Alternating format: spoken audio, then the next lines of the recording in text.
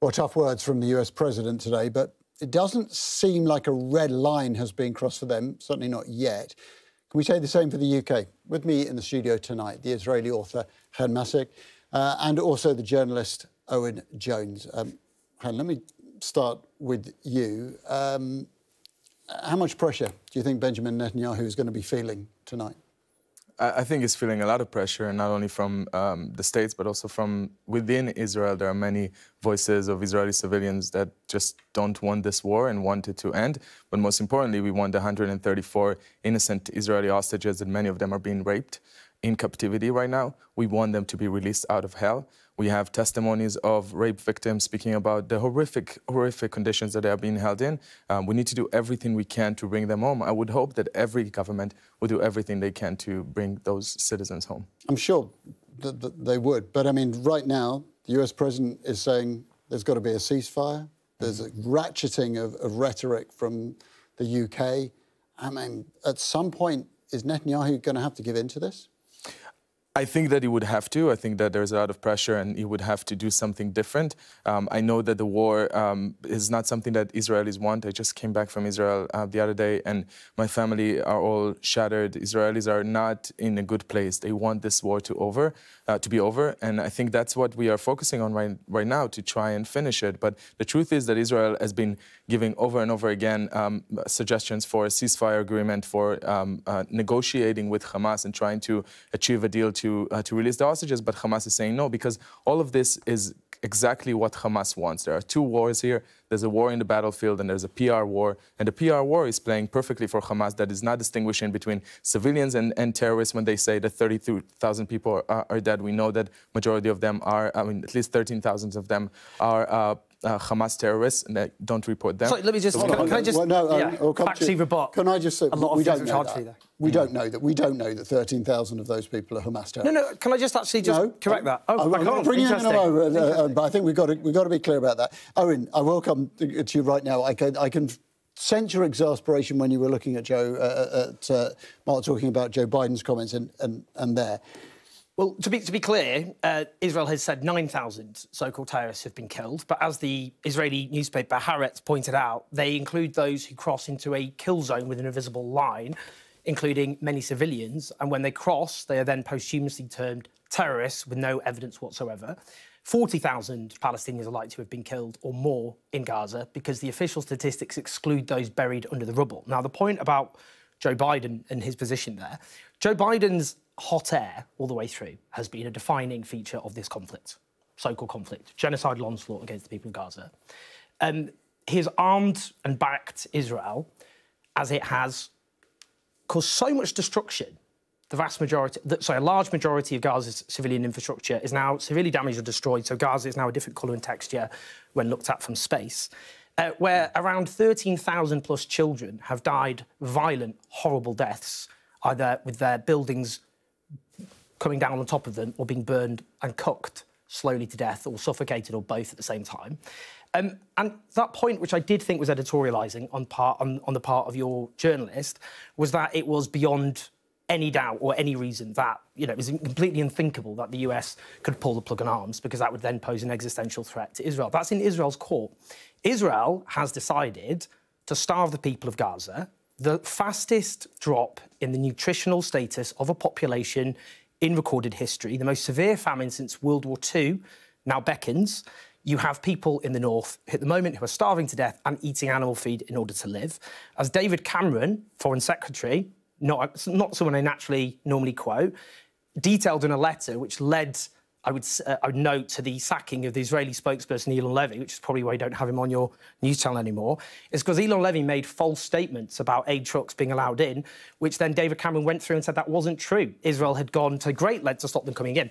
The point I'm making is Israel, all the way through this, has been razing civilian infrastructure to the ground. It has conducted the biggest killing of aid workers in recorded history. And the point I would make, and this is why I think there's a bit of journalistic malpractice which has defined this conflict, Israeli leaders and officials were very clear from the very beginning about what they were going to do. They didn't hide it. You don't have to go mm. through leaked documents. You just have to listen to, for example, to Yoav Gallant, the defence minister, who's in the war cabinet of three, who said two days after the atrocities committed by Hamas on the 7th of October um, that, uh, that they were going to cut off food, water, and all the essentials of life on the grounds they were fighting human animals. And then on the 9th of October, he declared he was lifting all restraints on soldiers. And a day later, he said he was lifting all restrictions on Israeli soldiers. We've now seen that, and the impunity that Israel enjoys from the West has led to aid workers who shared their coordinates on a pre approved route with massive World Central Kitchen logos who were chased from car to car with the drone until every single one was dead. Well, and I'll tell you this if that's true with those aid workers, Palestinians, ordinary Palestinians, did not, don't have a chance. And Joe Biden has sat through well, all of this, wringing his hand occasionally whilst uh, ensuring let, Israel has the answer. Let me let me give you a chance to respond. I'm interested that there's there's a lot the, the, I'm sure some of the phraseology you won't agree with, but no, quite a lot, of the is, facts as well. But, but some facts? of this is facts, isn't it? I mean, Gaza is uh, being are, absolutely. Are there no trucks going into Gaza? Is that what you're saying? There no there's no trucks with humanitarian aid. You're saying that seven million tons of food today did not enter Gaza. Israel is lying I can, about I can that. answer that question very clearly. Um, Israel has destroyed much of Gaza's domestic food production and agriculture. Yeah. The amount of food aid, as David Cameron has noted, is much less than before the 7th of October, when the need is much greater. And not only that, the roads have been trashed, OK, for a start. Police officers which guard those trucks have been deliberately targeted by Israel, with Joe Biden's own administration condemning Benjamin Netanyahu uh, for doing that. Whether it comes to the infrastructure, get, or, for example, the, the ability to transport in, uh, uh, the, the aid around is impossible now. Right. So th this is why the, the destruction of agriculture plus the, the inability to get the food. You take a pause because yeah. you, you're throwing um, a lot of hand. No, and, and, and you know what? I, I do understand why this conflict raises a lot of emotions. I think we need to focus on reality. Uh, and I understand, especially when you are Jewish or Palestinian or Arab, why you feel so commit, so connected to this conflict uh, and, and really being hurt and upset. I'm upset. My family, my friends, I lost friends in October 7th. Um, I don't understand why you are so. Uh, because I object to genocide, that, because I'm a human being and of course, it's not a genocide because I'm a human being. That's would you call every war a genocide? Or, or so no, what is a genocide?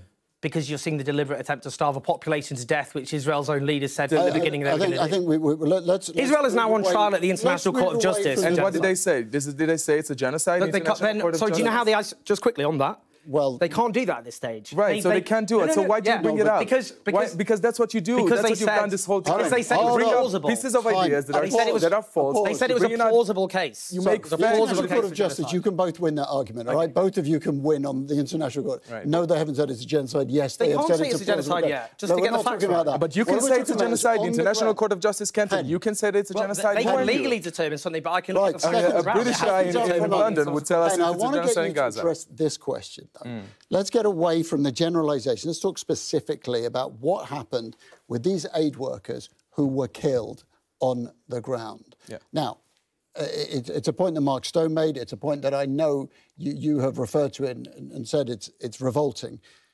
But is it a reality that foreign aid workers present a much greater international challenge to the Israeli government than the deaths of tens of thousands of Palestinians? Absolutely not. I think that every civilian casualty is terrible, and that's what Israel has been saying for since the beginning of this war. Um, I don't think that anyone in Israel, you know, the difference between Hamas and Israel is that when civilians are killed in Gaza, Israelis are not going in the streets and celebrating it. We're not handing out sweets in the no, streets. No, but they seem Israel. a lot more bothered about the international reaction to these aid workers than they do about the, the continual death of Palestinian civilians. I, I, don't think so. I think that the, that the reason that it was so uh, um, uh, condemned and, and so important for Israel to come out and condemn it is because it was a targeted attack. It wasn't collateral damage. It was a targeted attack, and Israel came out before the U.S. even woke up. It was in the night in the, U in the U.S., and Israel came out and said, this is a mistake. We've made a mistake. We're going to improve oh. ourselves. We're going to try to, make, to do better in the future when we're fighting a war against an organization that is hiding itself among civilian population, building tunnels and shelters underground, and then putting the civilians above ground, hoping that Israel would attack just, those just civilians, stop. and then having people in the I'll West, uh, having people in the West going on to channels and defending them. That's the issue here. And sorry, there's one, there's one who's, country. Who's let me just finish. The, one, one we'll, we'll come to. Okay. Uh, just there's one country that has built shelters, bomb shelters, invested billions of dollars in defense system in protecting its civilians. And there's a terrorist organization that has done everything it can, building a channel of, of uh, tunnels underground in Gaza that is like the London Underground to hide not civilians, to hide hostages, Israeli hostages, and Hamas terrorists and ammunition. That's the problem here, and that's uh, I can't believe that we haven't seen this clearly. Owen, I, I want to ask a question actually, the both of you. Well, I'd like is- to. Oh, do I get to answer any of that? Or? Uh, I, I'd like to move on. lots of Which is this, Owen? I don't think we could just have misinformation on national television that isn't corrected. What are you saying is misinformation there? Uh, well, I mean, firstly, he accused me of defending Hamas, uh, which I have to say, those smears might have worked once, but it just people watching this think you're desperate. The point about human shields, a brilliant piece of investigative journalism in Plus 972 magazine by the brilliant Israeli journalist Yuval Abraham revealed the use of artificial intelligence, a system called Lavender. And what that does is generate a whole load of low level operatives generated by artificial intelligence uh, with a collateral damage level per person of those targets of up to 20 civilians. The Which, idea. which we have to say, the IDF has said that it uses this for information purposes, that it has not used. Okay, well, okay, well, well, six separate intelligence sources briefed this brilliant investigative Israeli journalist.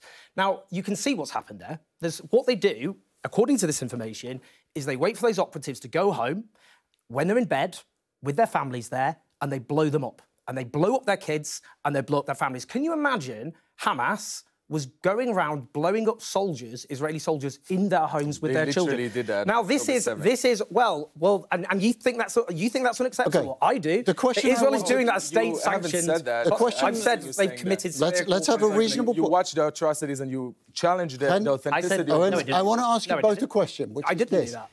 If Hamas were to release the hostages tomorrow, what happens then? Uh, look at the West Bank. Look at the number of people who have been slaughtered in the West Bank since this began. Last year alone, before the 7th of October, 240 Palestinian civilians, 40 of them children, were killed in the West Bank. And we were told that was a ceasefire. In the West Bank now, people are being driven from their homes and they're being slaughtered. The West Bank is not run by Hamas, it's run by Fatah, who put down their arms and accepted a peace process. What we're seeing in Gaza already, this idea of releasing the hostages, which I want. Taking those hostages was a severe war crime, a grave and unacceptable war crime. And the only way hostages have been released in any significant number is through ceasefire and prisoner swaps. That includes those prisoners who have been need to be released. And again, the information that's come out today of the treatment of these prisoners who are held without charge, with their handcuffed so much that they've been amputated, as well as the work by Save the Children, which is detailed how child detainees are sexually and physically abused. Owen, now, it's very important Ken, I- that, we, that we talk about this. I want to give you to get a, a chance. Yeah. Same question. If the if the hostages were released, what do you think would happen? I mean, the amount of passion that you have for Palestinian uh, prisoners, but not for the Israelis, and, and the no. la- And, I just and called lack- it. I I said it was a just war call a crime. grave war I said it was a grave severe war crime. but they did not dis- describe in specific what the Israeli hostages are, be, are going through for six months. Well, I'm now. asking, you know, and that's if and they I know, were and, and I just want to would ma- I just want to point it out because it's important because we're uh, we're seeing this uh, campaign by yourself and others that are pushing those um, uh, details that are not even true, uh, that are widely contested by uh, every uh, news media and, and, and intelligence uh, agency in the world. Um, and, and and you know if the if if you want to know what would happen if the hostages would be released, go back to October 6th. The the reason that the hostages are there is because Hamas went into Israel, committed one of the worst massacres against Israeli civilians, and took innocents from their beds, from their beds, babies. There's a baby in Gaza that Owen did not mention here, and that's the issue. I haven't mentioned the every war. I said it was a war, severe Okay, war crime. I- the difference between me and you No, is I no, condemn at all that war point, crimes. That's gentlemen. I'm going to cause a. There's much more I'm, I'm going to different between us. uh, request a Well, pause I at this agree. point. yeah. Take our breaths, uh, and uh, we will come back to this topic later uh, on. But you are watching the world with me, Adam Parsons.